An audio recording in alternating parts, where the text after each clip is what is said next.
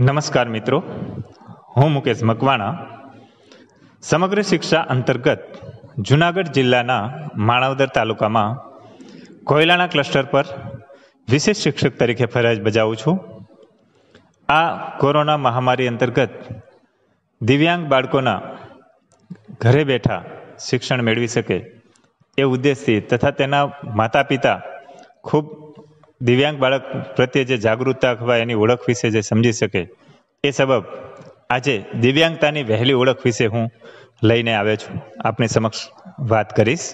તો દિવ્યાંગતાની વહેલી ઓળખ એ માટે આપણે સૌ જાણીએ છીએ કે કાલનું કામ આજે કરીએ અને જેટલું વહેલું થાય એટલું વહેલું કરીએ. આ બાબત દિવ્યાંગતાના ક્ષેત્રમાં પણ એટલી જ લાગુ પડે છે. દિવ્યાંગ બાળકની વહેલી ઓળખ કરી તેમના જીવનમાં કંઈક કરી છૂટવાની કે તેના જીવનને ઉજાગર કરવાની તક એ અમૂલ્ય છે.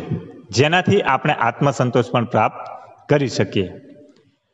સરકારશ્રી દ્વારા બહાર પાડવામાં આવેલ વિકલાંગતા ધરાવતા વ્યક્તિના અધિકારોના અધિનિયમ બે હજાર સોળ મુજબ એકવીસ પ્રકારની દિવ્યાંગતા ધરાવતા બાળકો સામાન્ય શાળામાં શિક્ષણ પ્રાપ્ત કરે અને સમધારણ બાળકની જેમ જ તેનો વિકાસ થાય અને સમાજમાં સ્વાવલંબી બની, સમાજને ઉપયોગી થાય, એ બાબત પર ભાર મૂકવામાં આવ્યો છે.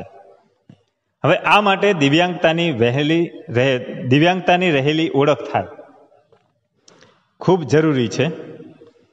મિત્રો, દિવ્યાંગતાની વહેલી ઓળખ માટે શું કરી શકાય તે જોઈએ. તો કે દિવ્યાંગ બાળકના વાલીને મળી તેમની માતા સાથે કેટલીક પ્રશ્નોત્તરી દ્વારા સરળ સંવાદ કરી અને બાળકની કેસ હિસ્ટ્રી મેળવવામાં આવે. અને તેમાં પણ ખાસ કરીને હાઈ રિસ્ક નોટ્સ એટલે કે જોખમી નોંધ એ બાળકની માતાને પ્રશ્નોત્તરી દ્વારા આપણે જણાવવામાં આવે છે. દાખલા તરીકે બાળકના જન્મ પહેલાં માતાને કોઈ ચેપી રોગ થયો હોય તો, અથવા પડી જવાથી કે ભાગી જવાની કોઈ ઘટના બની હોય કોઈ એવી દવાના ડોઝ હેવી દવાના ડોઝ લીધા હોય કે કોઈ વ્યસનના શિકાર બન્યા હોય અથવા વારસામાં, કુટુંબમાં, મામા મોસાળમાં કે કાકા કુટુંબમાં કોઈને કંઈ ખામી હોય, તો આ બધા પ્રશ્નો એ જન્મ પહેલાંના છે. આ બધી બાબતો ચર્ચા એની માતા સાથે હળવાશથી આપણે કરી અને પૂછી શકીએ. ત્યારબાદ જન્મ સમયે બાળકનું વજન ઓછું હોય, બાળકનો ડિલિવરી સમયે, ચીપિયાથી ડિલિવરી કરવામાં આવી હોય. જન્મ સમયે બાળકને કમળો થઈ ગયો હોય. તેમજ એને ઓક્સિજનની ખામી હોય. આ બધી જોખમી નોંધની માતા સાથે સંવાદ કરીને આપણે નોંધ કરવામાં આવે છે. ત્યારબાદ બાળકને જન્મ પછી કોઈ અકસ્માત, ઈજા કે આકસ્મિક ઘટના ઘટી હોય, તો માતા પાસેથી જાણી બાળકનું એસેસમેન્ટ એટલે કે મૂલ્યાંકન કરવામાં આવે છે.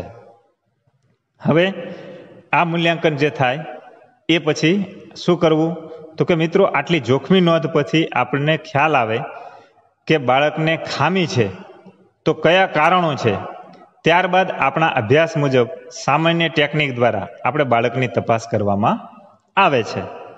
ત્યારબાદ જે તે દિવ્યાંગતાના નિષ્ણાંત ડૉક્ટર પાસે આપણે એને મોકલી અને દિવ્યાંગતાની યોગ્ય તપાસ સાથે એનું નિદાન કરી અને દિવ્યાંગતાનું મેડિકલ પ્રમાણપત્ર આપવામાં આવે છે. અને આમ જે તે બાળકને, જે તે દિવ્યાંગતા માટે પ્રમાણિત થાય છે.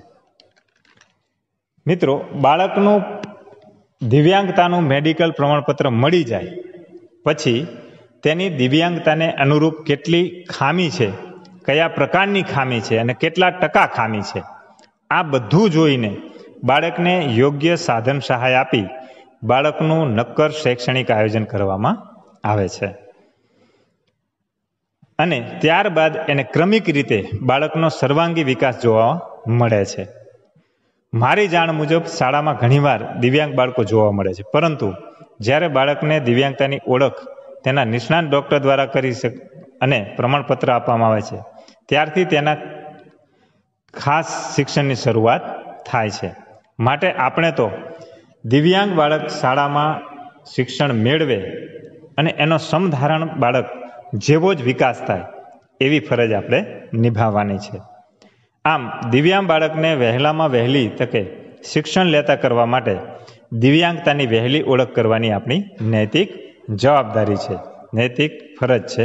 અને આ રીતે આપણે દિવ્યાંગતાની વહેલી ઓળખ કરી એના માતા પિતા સાથે મળી અને એને યોગ્ય પ્રમાણપત્ર કે એ માટેની જે પ્રોસેસ છે, એ પ્રોસેસ આપણે કરી અને એની જે ખામી છે જે પ્રકારની, એ ખામીની ચોકસાઈ જે એના સ્પેશિયાલિસ્ટ ડૉક્ટર પાસેથી એને મેળવી અને પછી એના યોગ્ય સાધન વડે આપણે એને શૈક્ષણિક તાલીમ આપી શકીએ અને એ તરફ એને આગળ વધારી શકીએ.